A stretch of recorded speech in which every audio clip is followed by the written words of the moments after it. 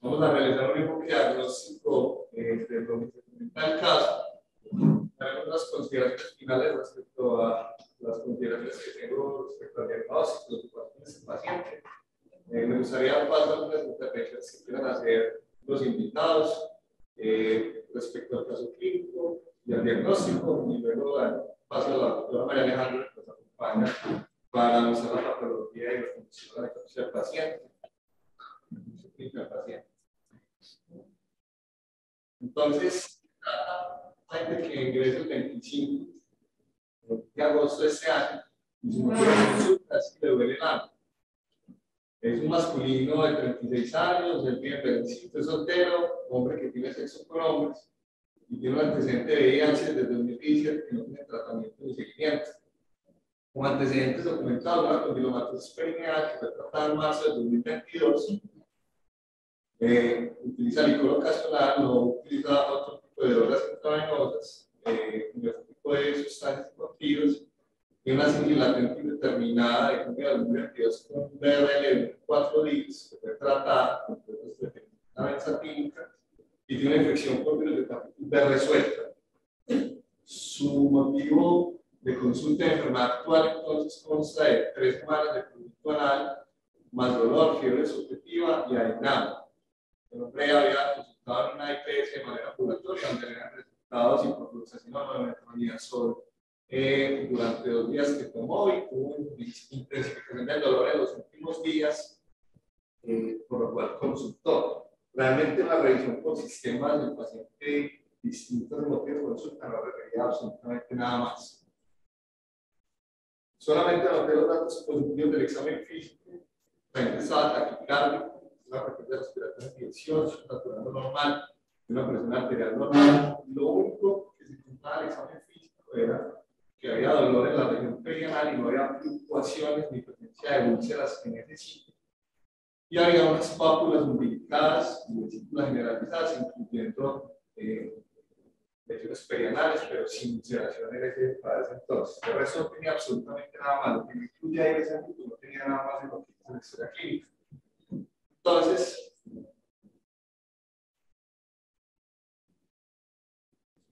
empezamos entonces acá donde es ingresado por medicina general y valorado por cirugía general, en pues, hay una sospecha que existiendo un absceso perirectal, ellos eh, ordenan un TAC contrastado y empiezan a datos de manera empírica. Los parámetros iniciales que reporta la historia clínica de los leucos de 4.600 no tienen como diferenciar en cómo está distribuido con linfocitos ni nada, una anemia que no entrega volúmenes eh, y plaquetas normales con una PCR con 38 en la creatina de 1. El tag de abdomen entonces muestra un engrosamiento concéntrico en las paredes, en la región anorrectal, que se acompaña a aumento en la densidad de expresión de la grasa mesentérica y adyacente en una adenopatía ciclorectal. De los CD4 que tenemos en las cotizaciones, entonces son 25 CD4 y esta carga viral en 495.962 copias por mililitro. No es claro en la historia lo que sucede, lo que argumentan es que con la respuesta al tratamiento, entonces cambian a IP y la cronoscopia, pero menciona de que el paciente en la cronoscopia tiene inflamación y erosiones en la parte del recto y del tercio inferior del recto, que el resto de la mucosa del colon es normal, eso sí, haciendo la salvedad que no menciona la válvula ileocefal ni hacen ilioscopia como tal de lo que, es, de lo que se solicitó por esas lesiones certificadas pidieron una antinuria para isoplar de criptococo que fue negativo, una carga viral para citogalovirus que era 74 copias por mililitro, inicia toxicidad empírica y una base de tratamiento que le dieron. En los prácticos, pues como de seguimiento, realmente lo cambia es que la PCR aumenta un poco, pero no hay nada distinto los prácticos que les haya mostrado y hacen una solicitar una PCR, una monkeypox en lesiones, y en ese momento el tuvo una retención aguda de que tuvo que ser pues, como manejado con sonda. Inicia luego con edema y tema, aumento del dolor perianal, o sea, empieza a ver como cambios inflamatorios en ese sitio, hasta el escroto y glúteos. Inician clindamicina por unos concentrados de un cultivo de lo que tomaron de muestras microbiológicas en esta colonoscopia, entonces iniciar ese tratamiento. Luego, al ver que hay empeoramiento de ese tema, que aparece nuevo, inicia cuando funciona la recuperación de la persona y suspende el resto de la quimioterapia, solicita una ecografía de tejidos blandos que informa que además de que hay engrosamiento del tejido celular subcutáneo, ve una colección de 4 eh, por 1 por 3 o por 4 aproximadamente, tejido celular subcutáneo. Bajo ese argumento, entonces, deciden eh, realizarle eh, adicionalmente, eh, pues en ese momento la cirugía y luego le hacen una tomografía compensada del abdomen informe quirúrgico, entonces dicen que realizan varias funciones en la región perineal, en toda la extensión. Dicen que en la incisión donde la ecografía del que está el absceso, no, no se tiene ningún tipo de drenaje, eh, no ven tejidos desvitalizados, no hay necrosis, no hay gangrena a ese nivel, realizan el lavado, eh, parece que toman cultivos y dejan una mecha con su formata y no mencionan complicaciones. Entonces, en ese TAC de abdomen, eh, entonces, el paciente posteriormente entonces evoluciona, aparece un síntoma nuevo que no tenía antes, que es dolor abdominal, empieza con distensión abdominal y no hay paso de plato ni heces. Entonces, en este TAC que se le realizó, documentan entonces eh, que hay una obstrucción parcial a nivel del recto, indican una sonda rectal como para evitar que a ser manejado de manera quirúrgica. Ahí vemos entonces que la PCR se eleva más más ALTAs normales, no hay otro cambio, empieza a haber una discreta leucocitosis. Y entonces, eh, en la biopsia recta que tomaron, dicen que inflamación aguda crónica informan a mediasis. Es bien pues intravenosa. Entonces, por no me voy al cuadro, eh, con este manejo de la sonda, lo llevan a la laboratorio exploratoria y ahí observan que hay una obstrucción intestinal que tiene transiciones en recto y tiene una perforación secal con necrosis de la pared posterior que hay que de cuatro cuadrantes. Realizan pues eh, el lavado, toman un de ahí y realizan una microlectomía derecha y dejan la abdomen abierto con sus respectivas postomías y lo trasladan a la UCI.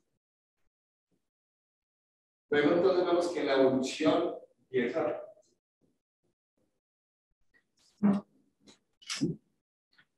Vemos acá entonces eh,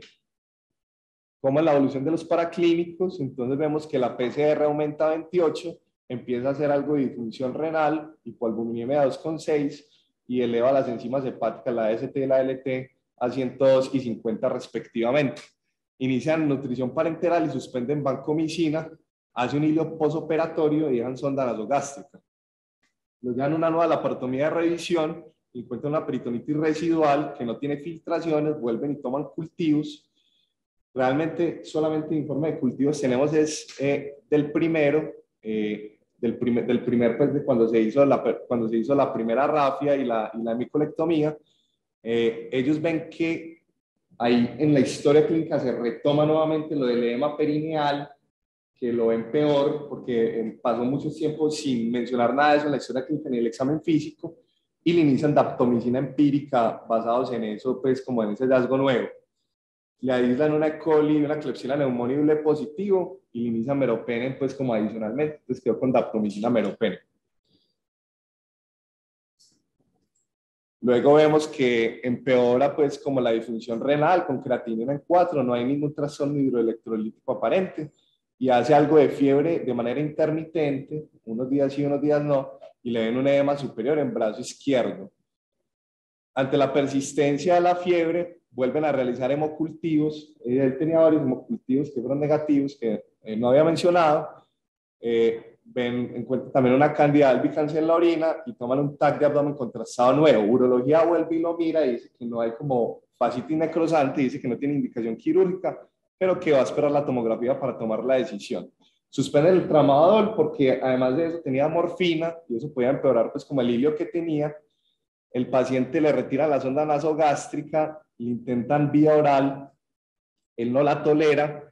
eh, él se rechaza a nuevas, pues a volver a recibir sonda eh, nasogástrica porque estaba pues con eh, algún problema, pues problemas afectivos durante la hospitalización,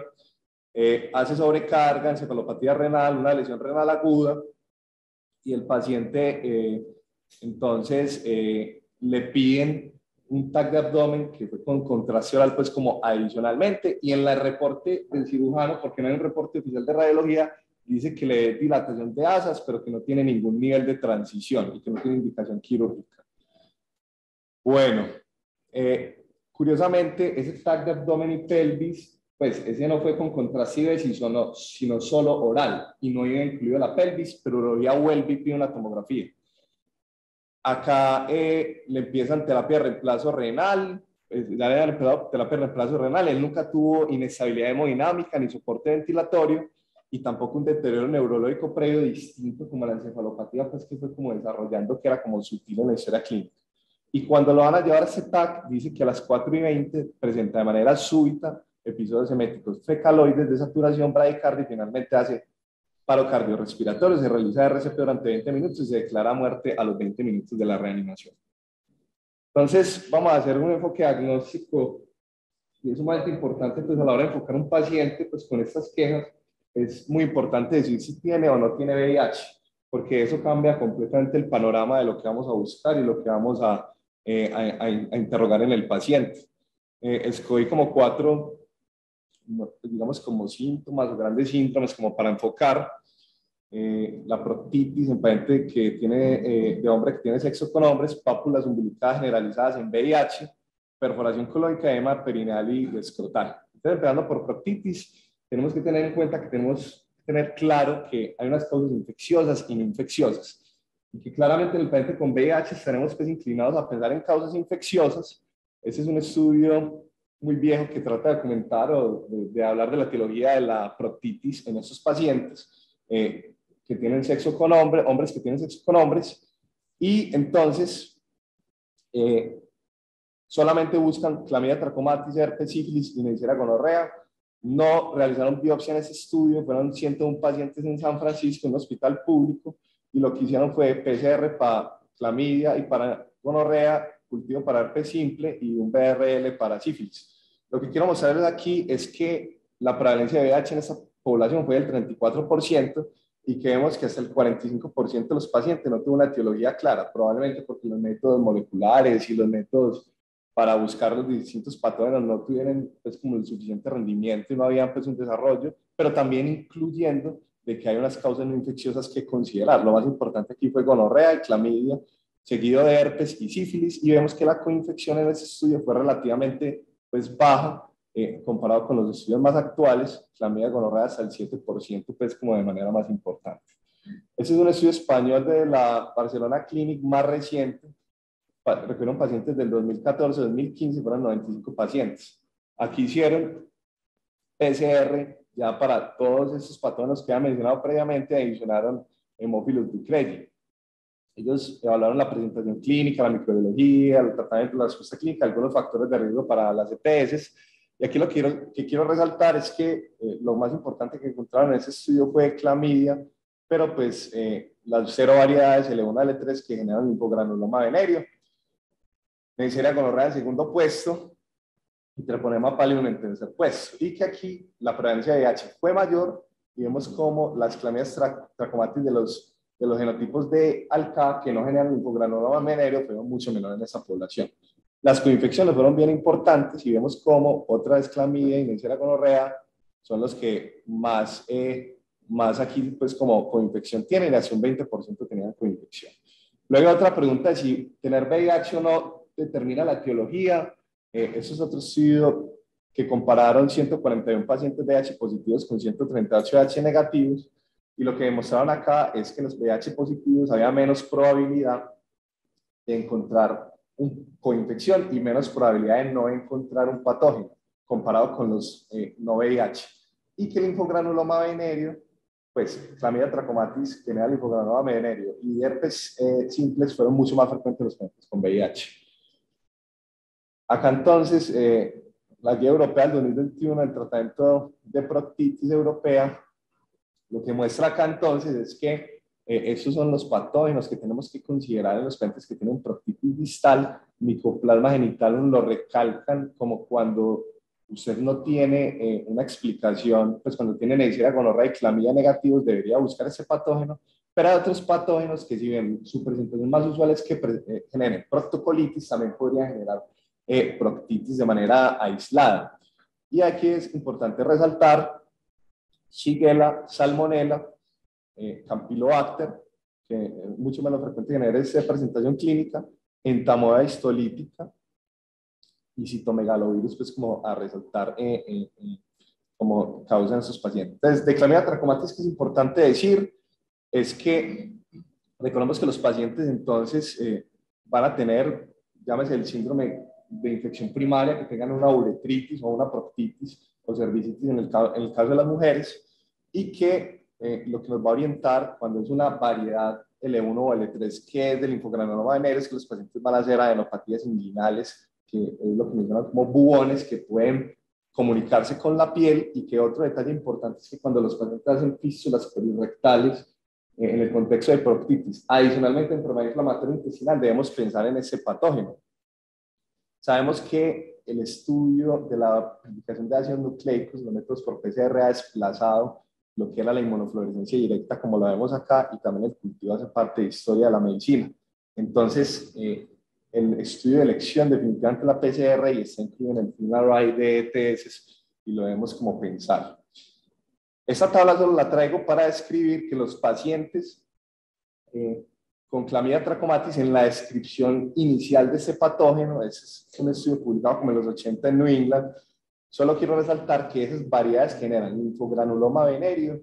usualmente cuando generan proctitis van a generar ulceraciones difusas y una ferilidad importante de la mucosa, comparado con las variedades que no generan linfogranuloma venéreo, que van a tener realmente unos cambios de más focales, menos llamativos, como menos escandalosos.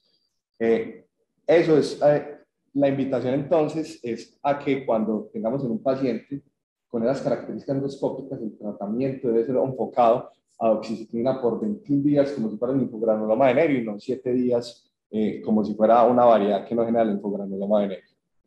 En herpes también es una causa de proctitis. También, además de ulceraciones, pues, clínicamente se caracteriza por un dolor fuerte y solamente un 30% puede tener úlceras perineales. Entonces, eh, que es el mensaje acá es que no solamente el que no tenga úlceras perineales no debemos, pues, o sea, no, no debemos descartar esa opción diagnóstica y usualmente afecta a los primeros 15 centímetros eh, pues del colon distal y no se prolonga más allá de manera usual. Puede generar, es diagnóstico diferencial de tumores del canal anal porque a veces tiene presentaciones tumorales. Y algo importante ese paciente que tuvo una retención aguda de orina era mirar de una cosa que se llama el síndrome de Ellsberg, que como podemos ver acá hay algunos focos de mielitis y lo que nos trata de señalar acá es que hay una radiculitis asociada. Eso es una complicación de herpes simplex que se llama el síndrome de Ellsberg y hay que tenerlo en cuenta cuando el paciente tiene una clínica de caudequina y retención aguda de orina. Esta guía del 2021 la ISA insiste en no utilizar ni serología, ni test de sangre, ni la inmunofluorescencia directa para el diagnóstico de herpes, sino acudir a los métodos moleculares que están incluidos también en el final Neisseria gonorrea,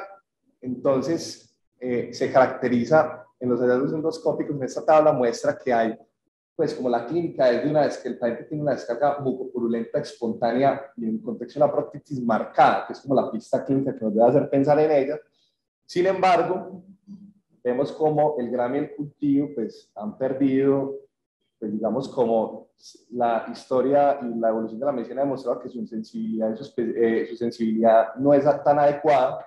y que acudimos también a los métodos moleculares con buenas sensibilidades y para el aislamiento de ese microorganismo. Y siempre considerar la infección con clamidia trachomatis incluso pues cuando no logremos demostrarla y dar tratamientos empíricos pues eh, no sería como tan inadecuado considerando lo que les mostré en los estudios previos. Sífilis,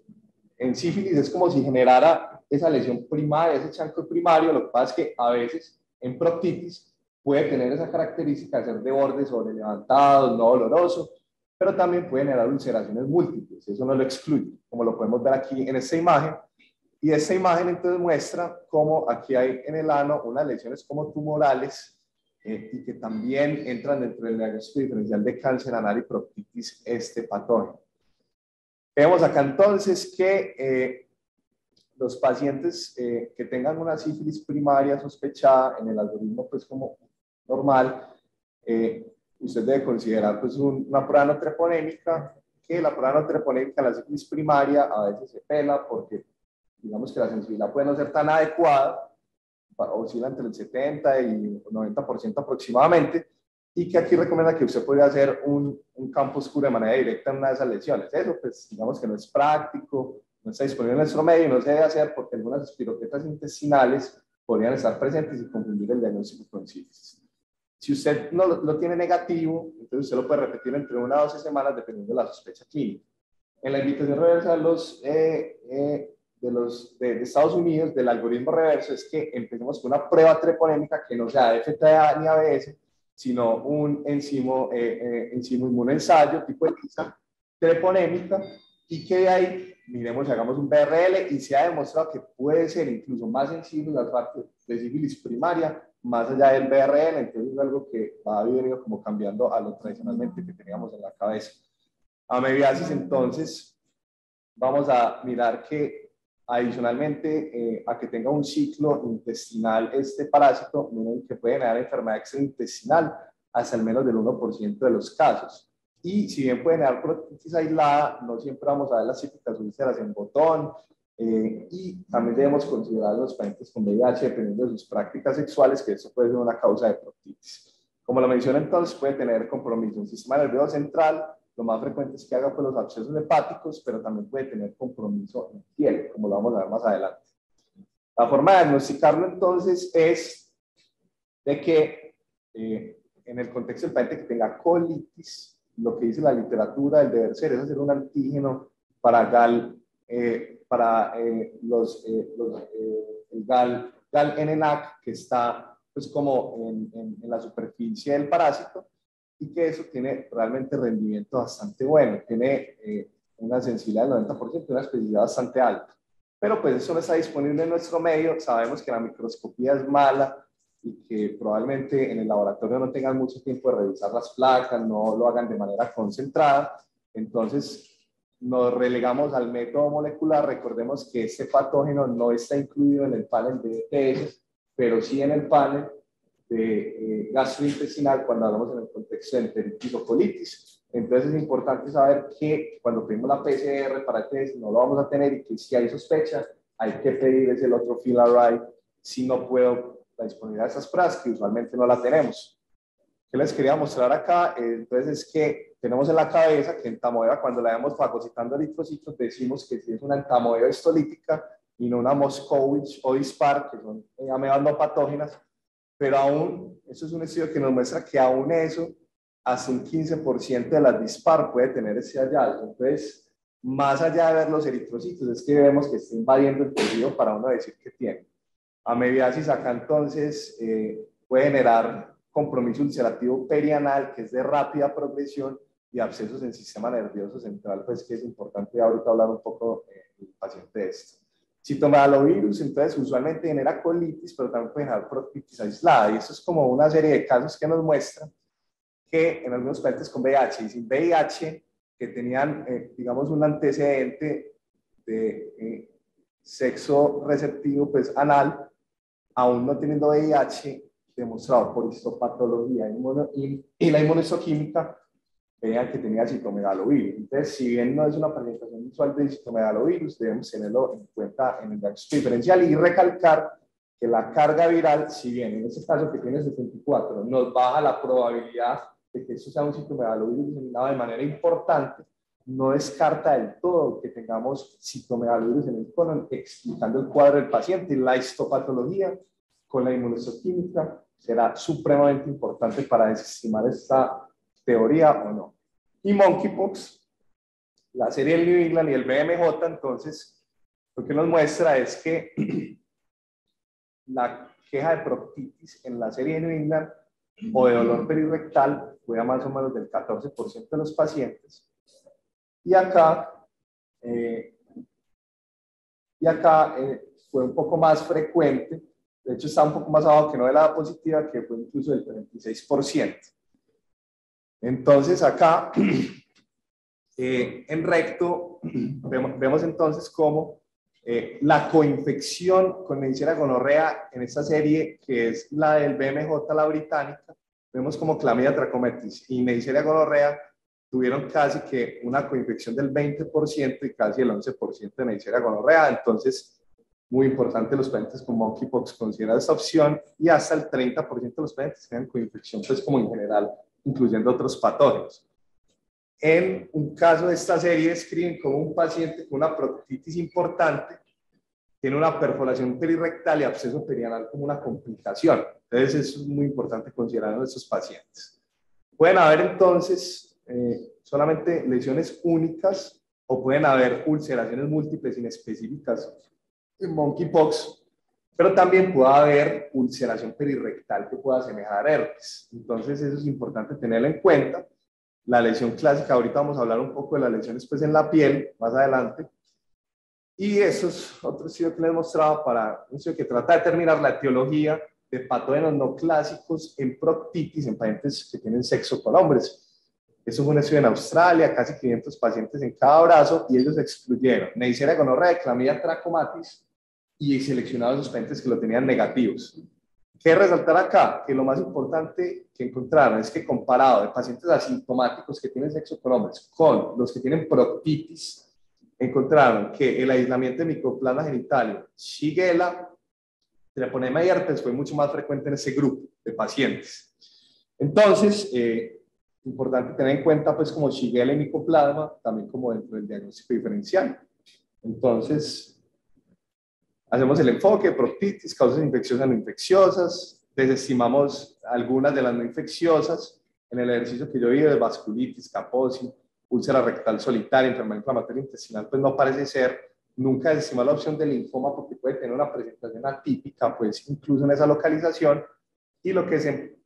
en infecciosas, eso yo no lo puedo desestimar porque la presentación endoscopia y la clínica son muy específicas hasta que yo no tenga un aislamiento y monkeypox pues también eh, es una opción fuerte considerando las otras cosas que vamos a ver.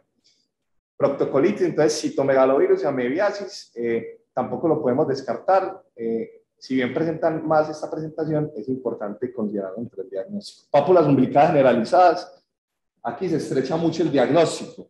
porque en VIH vamos a tener pocas etiologías que generen esa morfología característica de estas pápulas.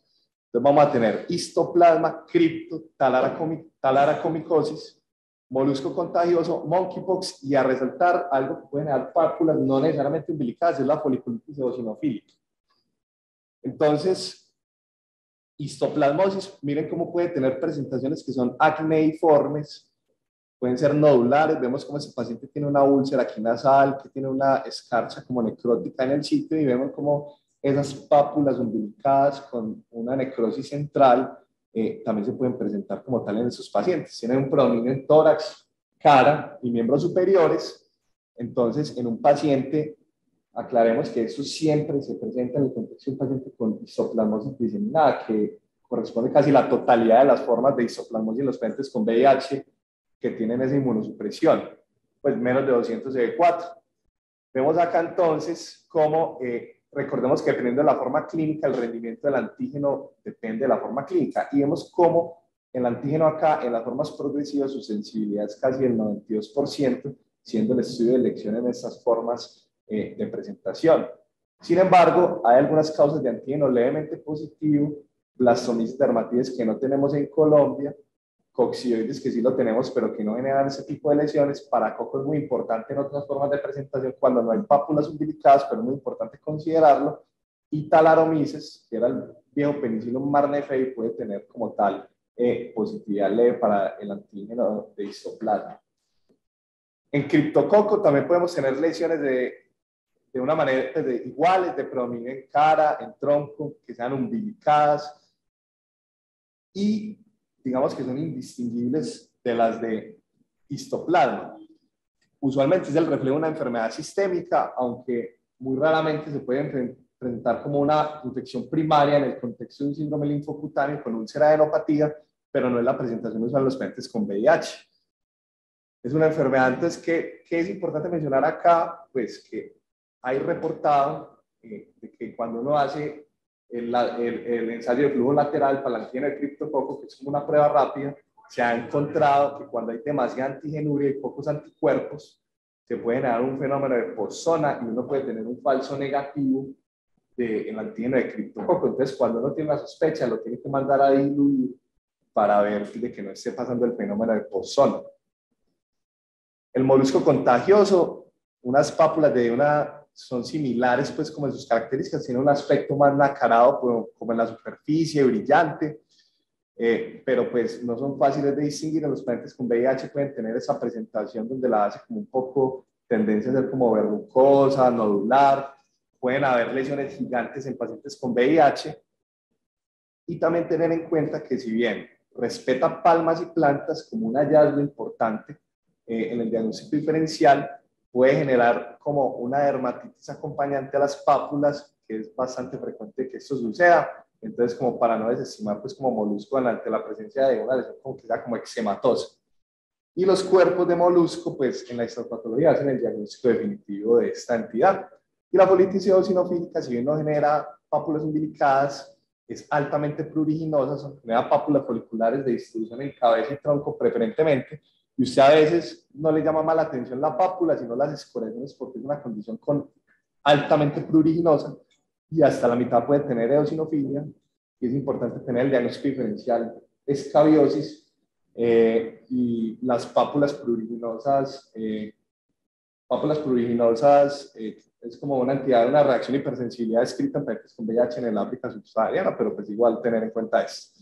talaracomicosis, que es la antigua peniciliosis, que cambió su nombre en el 2015, solo la menciono como cultura general porque es una enfermedad endémica en el sureste de, Asia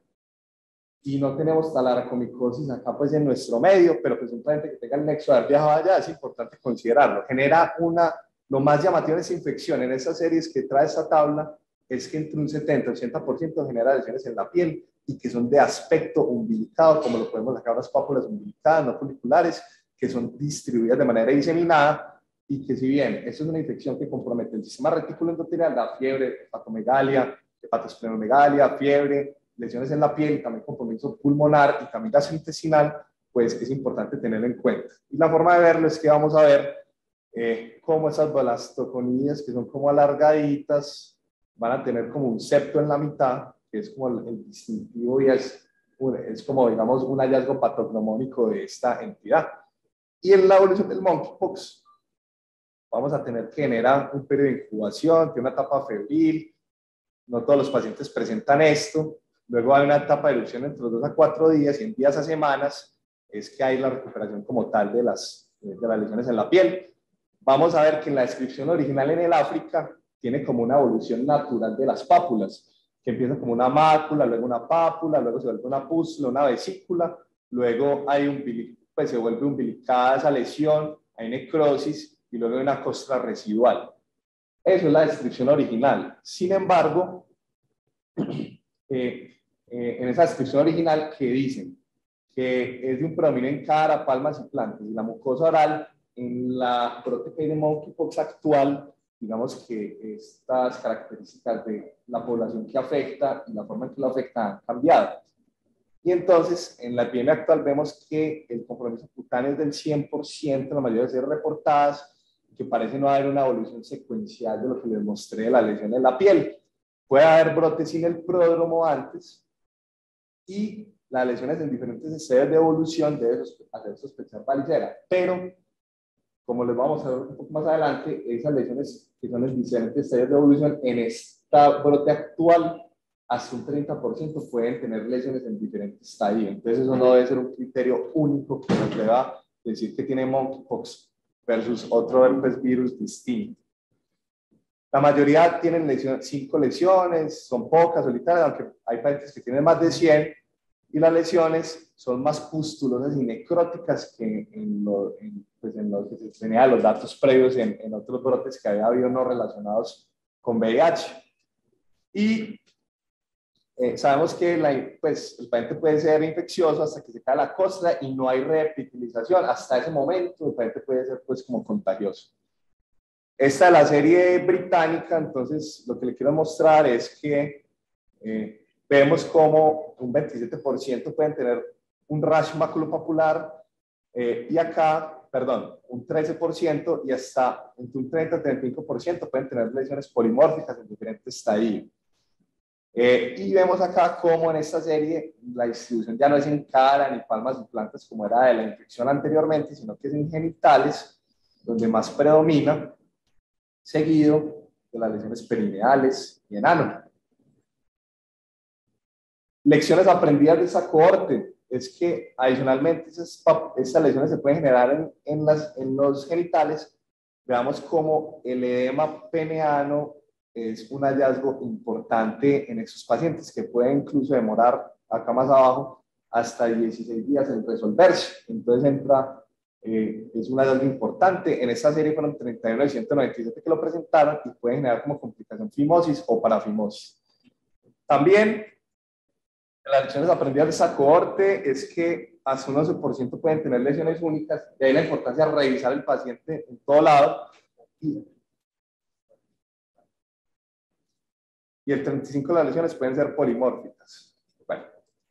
puede generar fascitis necrosante. De la perforación colónica, ya vamos a acabar. Entonces, eh, hay unas causas infecciosas, no infecciosas, iatrogénica, radiación, neoplasia, megacolon tóxico, vasculitis, isquemia, enfermedad inflamatoria intestinal y esteroides y AINES pueden generar perforación de divertículos, pero pues no parece ser como tal en ese paciente, pues como lo que está explicando. Y algo importante que puede ser citomegalovirus amebiasis, una consideración de micobacterias y salmonella usualmente genera perforaciones en el hígado. Y también puede haber perforación solo por el fenómeno obstructivo, puede haber perforación más distal solamente por la obstrucción intestinal.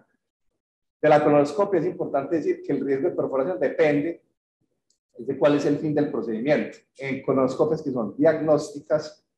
pues miramos que los porcentajes son muy bajos de perforación comparados con los que tienen enfermedad inflamatoria o es un procedimiento eh, pues como eh, no solo diagnóstico sino para, con un fin de tratamiento. El 22% se generan en un estadio pues tarde y eh, vemos que quiero señalar acá que el segundo lugar de las perforaciones es el ciego y eso es a la ley de Laplace en donde a mayor, a, mayor diámetro, a, mayor, a, medida que aumenta el radio, aumenta la tensión sobre la pared y aquí es donde hay mayor diámetro. Entonces, en las obstrucciones intestinales, en la colonoscopia es un sitio frecuente de perforación por ese principio. De TV, lo único que quiero resaltar acá es que hay algunas características endoscópicas que si bien uno usualmente lo piensa en el ilio, también lo puede encontrar en el ciego, en el segundo lugar en TV intestinal, que tiene unas úlceras que son transversas y no longitudinales, y vamos a ver cómo ese hallazgo de una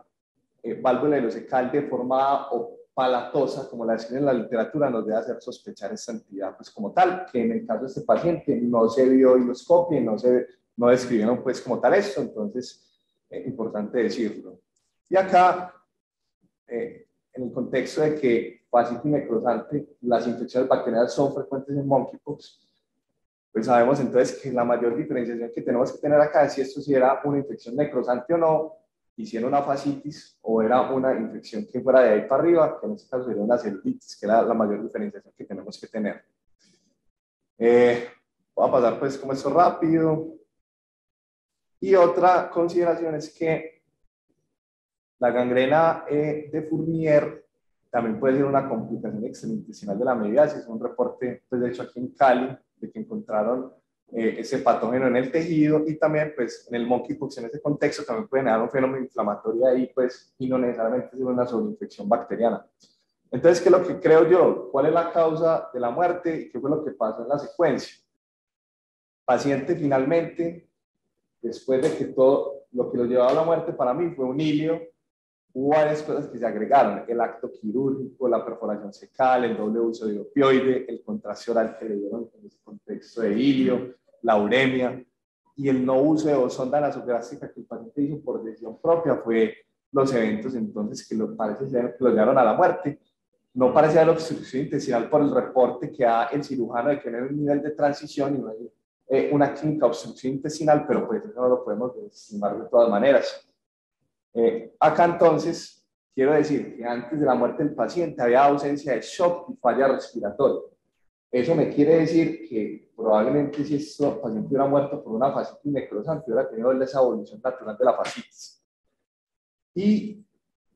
eh, no hubo un deterioro neurológico ni síntomas de hipertensión endocraneana para uno pensar de que es una complicación extraintestinal de la mediasis, eso estuviera explicando esto. Hubo algo de encefalopatía que no descarto que sea solo por uremia, sino que también puede ser por un monkeypox diseminado,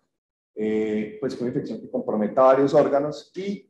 finalmente la broncoaspiración, asfixia y paro cardiorrespiratorio fueron lo que lo llevaron a la muerte. Pero entonces uno puede verlo desde la navaja de Ockham como un evento simple donde hay teorías que explican el fenómeno o usted puede hacerlo complejo y decir que varias teorías pueden explicar lo que terminó sucediendo, que uno se inclinaría más a pensar que los pacientes con VIH pasa esto. Y entonces, para decirlo de una manera más simple, tuvo una infección complicada por monkeypox, tuvo una obstrucción intestinal, monkeypox no creo que haya explicado la perforación más allá porque él no tiende a infectar esos sitios. Y eso de la gangrena de lo pongo en duda, pues porque si, a pesar de que le dieron antibiótico, pues la evolución natural de la gangrena de es que progrese y muera el paciente en el contexto de un shock séptico. Entonces dejo la duda de esto, aunque puede ser pasado y los antibióticos pudieron haber retenido ese proceso. Pero adicional que los pacientes con VIH tienen múltiples explicaciones, una mediasis intestinal sobreagregada que la haya explicado la perforación fecal y otras con infecciones que dan la teoría de la proctitis. Buenos días, mi nombre es María Alejandra Bedoya, yo soy profesora de patología y hoy vengo eh, a hacer la correlación patológica. Eh, de antemano pues les digo que cambiamos un poquito esta metodología del CPC porque realmente lo que queríamos hacer era una revisión de monkeypox, que era lo que pues, era novedoso en este paciente, y lo que estamos viendo como actualmente eh, en este bloque. Em, vamos a empezar entonces, este es el contenido, vamos a, a omitirlo y vamos a empezar de una vez. Les voy a hacer de una vez qué es fiserotomía y eh, por qué le hicimos en este caso. El decreto del, del, del, decreto 186 de 1990 nos dice que la fiserotomía eh, que solamente tomamos muestras de cualquiera de los componentes anatómicos contenidos en las cavidades del cuerpo médicos, legales, químicos o de salud pública, eh, investigación o docencia. En este caso, solamente abrimos el cuerpo, qué pena, abrimos el cuerpo y tomamos dos órganos que son estrictamente necesarios para el estudio que eh, nos da la guía. En este caso, eh, el protocolo de vigilancia de viruela cínica en Colombia nos dice que debemos tomar muestra de hígado, vaso, pulmón, cerebro, miocardio, médula ósea y riñón y piel si presenta lesiones. Debemos mandar dos muestras, eh, una formal aldehído y otra en solución salina y debe ser de 2 por 1 centímetro mínimo. Si no tiene el hisopado eh, orofaringeo, pues con la PCR se, se, recomienda tomarlo. Y estas muestras deben ser enviadas a biología y a patología del Laboratorio Nacional de Referencia. Es decir, aquí hicimos una serotonía, solamente sacamos lo que nos estaba pidiendo eh, la No hicimos una necropsia completa. Eh, dentro de los hallazgos macroscópicos, entonces, este fue eh, el cuerpo de cadáver que nos llegó, eh, pues desde em, la macro podemos ver que venía con su apunto por la cirugía previa, la bolsa de ostomía, pues equimosis y las múltiples lesiones que presentaba en todo el cuerpo. Son pápulas, algunas por una umbilicadas, muy bien definidas esa, pues las que son umbilicadas presentan un borde como, eh, eh, perdón, un fondo necrótico, que no es lo usual en las lesiones de monkeypox. Eh, vemos que en los genitales también tenía lesiones y se observaba el gran edema en el pene de los testículos que ya visto en varios reportes del monkeypox. En la cara estuvieron las lesiones más grandes, eh, algunas como pseudopústulas, no se veía el pus, pero eso es lo que se ve por ese, eh, por, por, ese fondo necrótico. Eh, las lesiones, como les digo, estaban en, las más grandes estaban en la cara, estaba afectando el labio y la mucosa oral, y en el cuero cabelludo también presentaba varias lesiones. Cuando abrimos, eso fue lo primero que encontramos, eh, y se ve la gran afectación que se tenía en la cavidad peritoneal, el intestino estaba edematizado con todas estas membranas pirinopurulentas, ahí allá empezando a hacer adherencias y afectando toda la pared abdominal, pues ya con esa necrosis. Eh, lo que alcanzamos de ver de los pulmones es que estaban pálidos con ese pigmento antracótico, pero no vemos como ninguna lesión macroscópica. Y, como les digo, pues eso fue lo único que vimos porque solo abrimos el cadáver sacamos lo que nos interesaba, el cerebro y miocardio no se encontró alteración, el vaso y el riñón estaban realizados, pero tampoco encontramos una alteración. El hígado tampoco presentó ni abscesos ni inflamación, pero en la anserosa del, del hígado sí se presentaba una, una infectada inflamatorio agudo. En el pulmón, desafortunadamente pues quedó con mucho color por la, por la presentación, por la, el DOB, pero se veían unas secreciones eh, dentro de los alveolos que, que aún se veían formados como mucho más basófilos, esa como una secreción proteinácea, eh, como necrótica, y podíamos pensar que eso también se podía dar con la investigación del paciente. Vimos muchísimas membranas dialinas, hablando de eh, ese daño alveolar difuso que sufre el paciente con el shock, y también encontramos una región eh, de necrosis extensa eh, por inflamación crónica asociada. Vemos aquí la diferencia con el parénquima más normal del pulmón. Y eh, pues estamos hablando, pues estamos ante la presencia también de una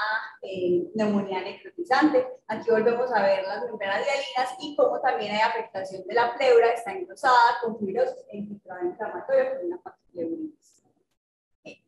Obviamente con esos hallazgos en un paciente suprimido con VIH realizamos eh, coloraciones especiales para tratar a alguien oportunista. Eh, en el vimos también las membranas dialinas y solamente encontramos esas estructuras como levaduras y pseudodivas que estaban eh, septadas y también eh, en gemación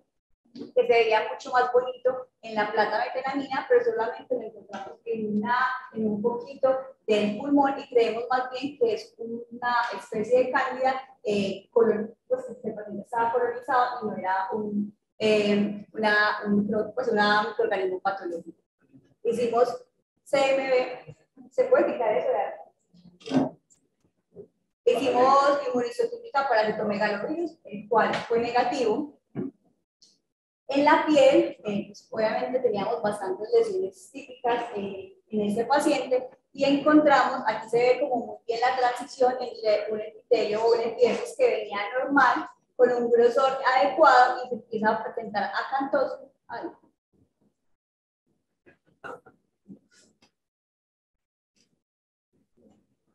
Bueno, está bien, así. No, sí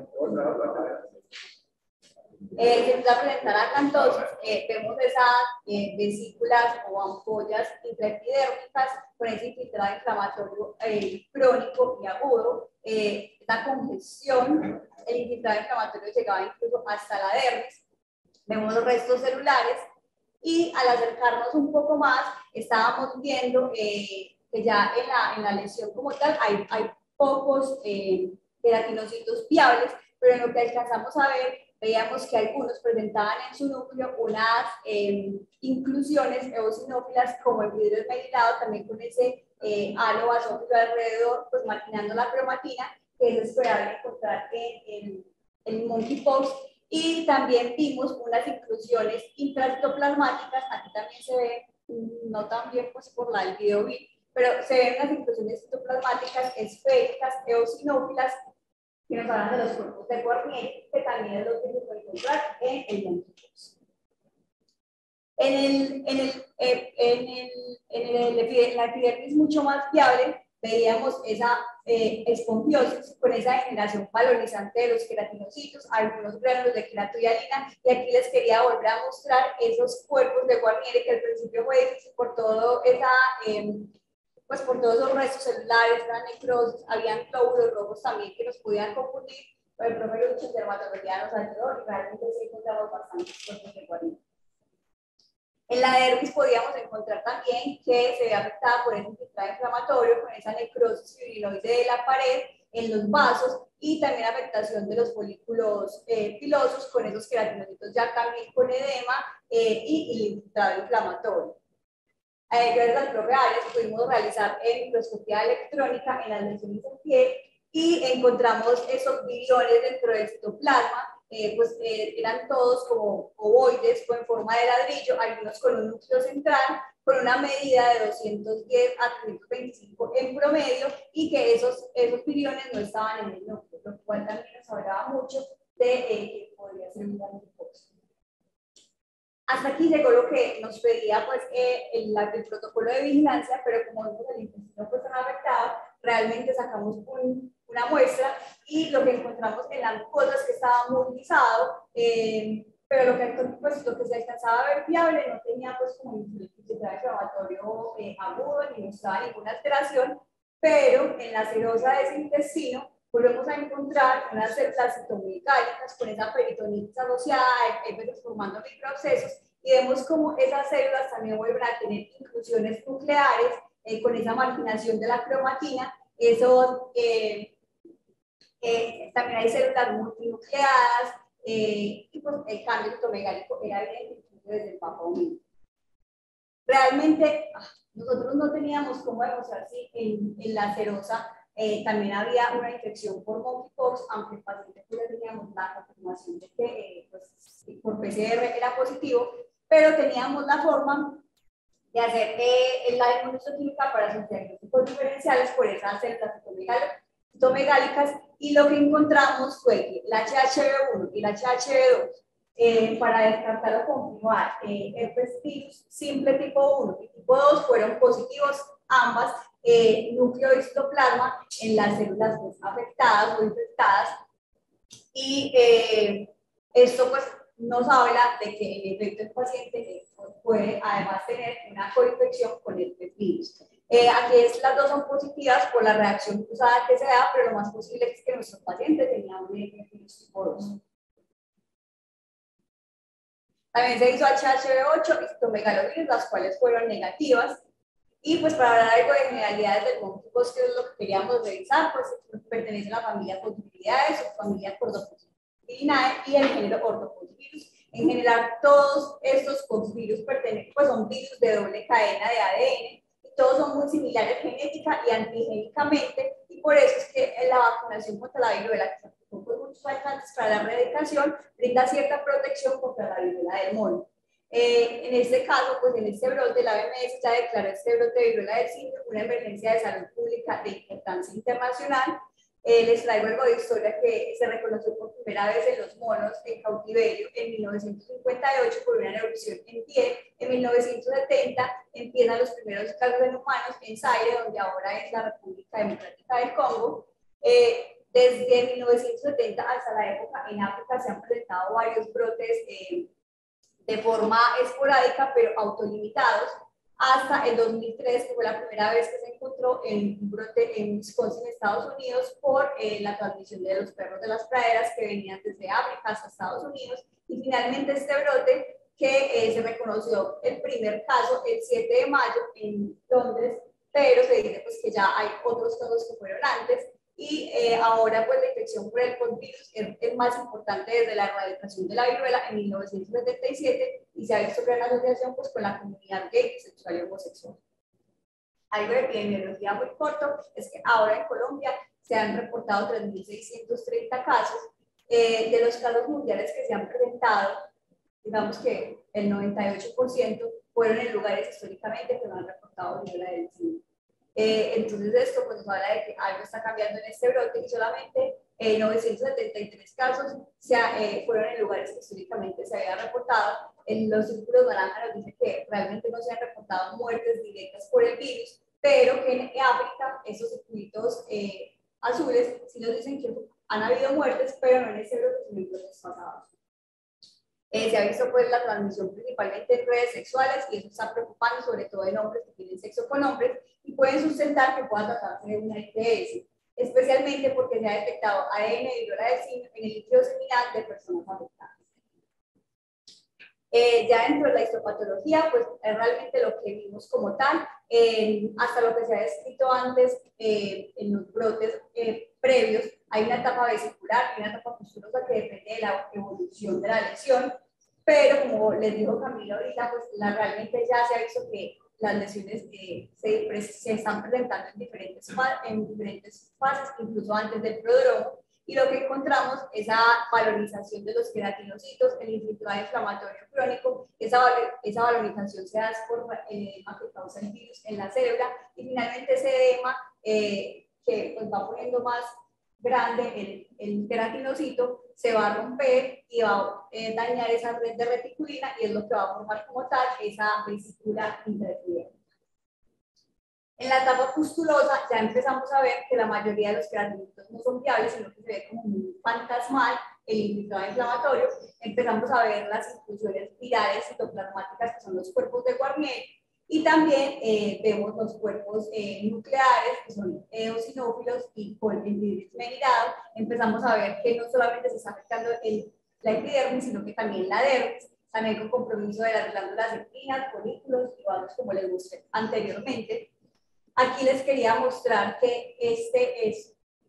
básicamente lo que describí, multinucleación, eh, nucleares, la vesícula, inflamación crónica, pero esa, eh, esa microfotografía pertenece a herpes virus y esa pertenece a eh, Entonces, realmente tenemos que revisar siempre, lo tenemos que tener presente. Aquí a mayor aumento vemos lo mismo, en la inmunistoquímica para el, eh, el monkeypox encontramos que solamente a partir de 2003 es que se empieza a hacer, y por eso en, los brotes pasados eh, de la viruela, por ejemplo, no se hacía, es un anticuerpo policlonal antivaccinia de conejo, eh, y esta reacción al antígenos de todos los ortovirus.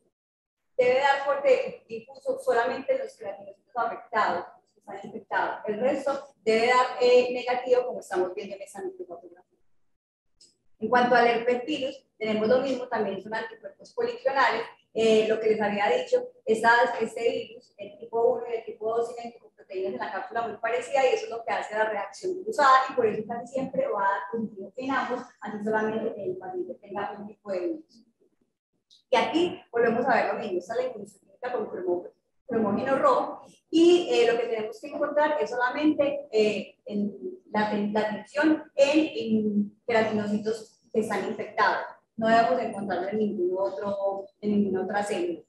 En cuanto a la microscopía electrónica, vemos muy bien lo que les describí ahorita, eh, y es porque eh, el virus eh, del monkeypox es realmente un virus grande, tiene una doble cápsula de lipoproteínas, en la superficie, en la, super, en la superficie tiene esas proteínas virales, que es lo que estamos viendo acá en la microscopía como pelucitos en la cápsula, y ese núcleo central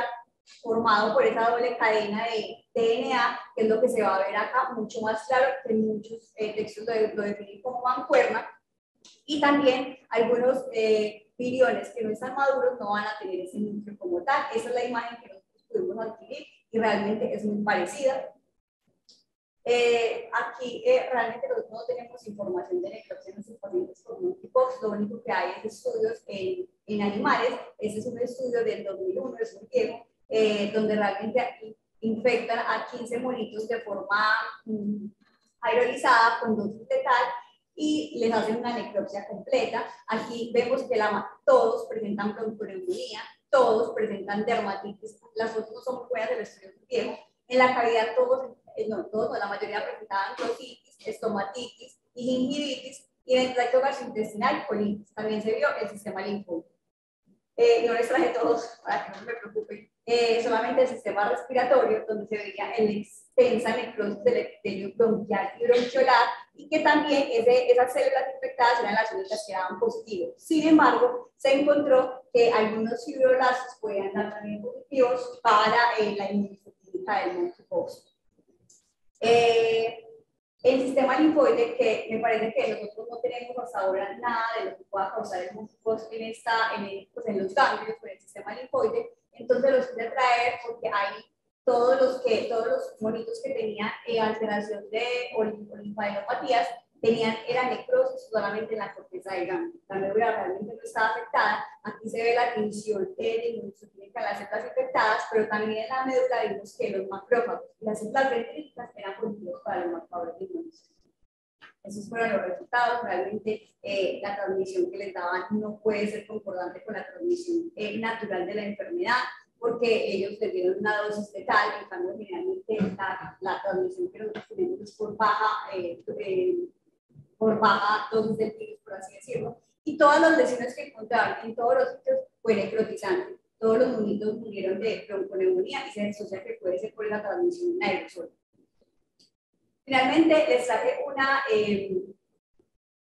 eh, un una reporte de caso de coinfección por eh, monkeypox y el herpes virus en un paciente que veía positivo que tenía lesiones perianales, que realmente es lo que estamos viendo en nuestro paciente. Este fue un reporte que se hizo apenas en noviembre, ahorita del 2022, y fue un hombre de 38 años, o es un hombre de 38 años, VIH positivo, que eh, tenía estaba en estadio B1, tenía antecedentes previos de otras ITS y era un hombre que tenía sexo con hombres. de consulta por dolor rectal, fiebre de adenopatías y en la, la hospitalización empieza a presentar máculas, luego pápulas umbilicadas y finalmente hace un absceso perineal. Toman una PCR de estas pápulas umbilicadas que fueron positivas para el virus tipo 2, inician el tratamiento con balaciclovir y también se fracciona la citromicina para otras ITS.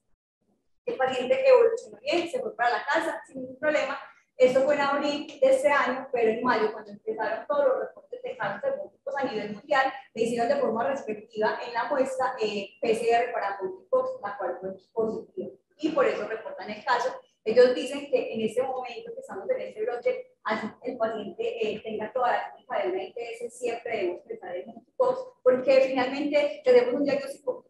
un diagnóstico oportuno se implementan medidas epidemiológicas para evitar la, propagación de la enfermedad y nos podemos enfocar en estos pacientes que son vulnerables en este momento, los hombres que tienen relación con. Nuestros diagnósticos finales, final, eh, realmente eh, digamos que ya nos dijo eh, Cami todos, porque realmente no, ya están, digamos que dentro de la historia clínica, sepsis de origen gastrointestinal intestinal bacteriana, la neumonía necrotizante con el daño alveolar difuso, encontramos esa peritonitis aguda multifactorial porque ya sabíamos que tenía el control para bacterias, pero también salió el virus tipo 2 positivo, la infección por la viruela del mono, que eh, vimos las lesiones en que podemos confirmar con la histopatología y la microscopía electrónica que eran por monkeypox, eh, la infección por eh, herpes virus simple, Tipo 2, en la cirrosa del intestino y finalmente colonización pulmonar, como ya explicó el compañero, eso causa una falla orgánica múltiple y esa es la causa de muerte. Y